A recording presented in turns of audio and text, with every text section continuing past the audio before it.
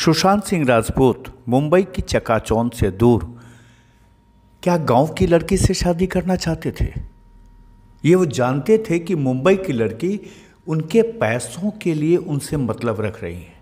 यह इसलिए कह रहा हूँ कि सुशांत सिंह राजपूत का एक रेयर वीडियो आपको दिखा रहा हूँ, जिसमें वो अपनी चाची से बात कर रहे हैं और कहते हैं कि आप लोग गाँव की लड़की तलाशिए।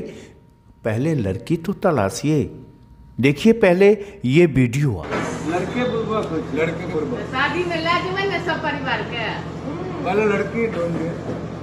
पहले लड़की मिलते तब आप आप लोग भी ढूंढिए। कोई मिले तो। तो देहाती लड़की की अरे काहे नहीं। यह रेयर वीडियो सुशांत जब सुपरस्टार बन गए थे उसके बाद की है। सुशांत सुपरस्टार बनने के बाद अपने गाँव आए थे और गाँव में चाची के पास बैठकर शादी की बात कर रहे थे। लड़के लड़के शादी में ला देवे ना सब परिवार के। पहले लड़की ढूंढिए। पहले लड़की मिलते तब आप आप लोग भी ढूंढिए। कोई मिले तो तो देहाती लड़की की करब काहे नहीं।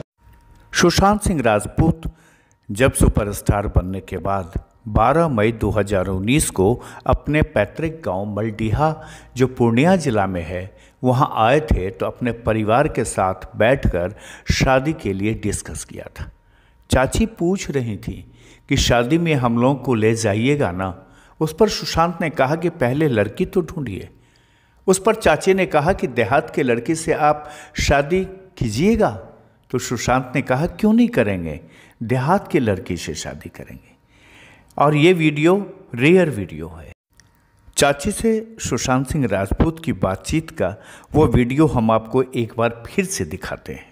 लड़के लड़के शादी में ला देवे ना सब परिवार के। पहले लड़की ढूंढिए पहले लड़की मिलते तब आप आप लोग भी ढूंढिए कोई मिले तो तो देहाती लड़की की करब अरे काहे नहीं। सुशांत सिंह राजपूत अब हमारे बीच नहीं हैं। उनकी मौत को लेकर के सीबीआई जाँच कर रही है। लेकिन इस वीडियो से साफ़ ज़ाहिर होता है कि सुशांत मुंबई की चकाचौंध से दूर थे। खुलासा के लिए सहरसा से संजीव सिंह की रिपोर्ट।